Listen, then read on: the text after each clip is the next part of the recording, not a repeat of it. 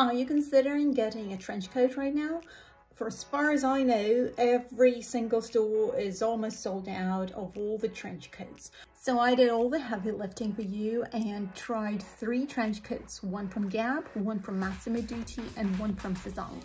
They're priced differently. I'm just wondering whether you will be able to guess which one's which because sometimes it doesn't make any sense to pay more when you can pay less or altogether keep wearing something that you already have and not go for the latest trend or latest trench. So check out these three trench coats and let me know if you can actually guess which one's the oldie, which one's the savvy, and which one's the posh version.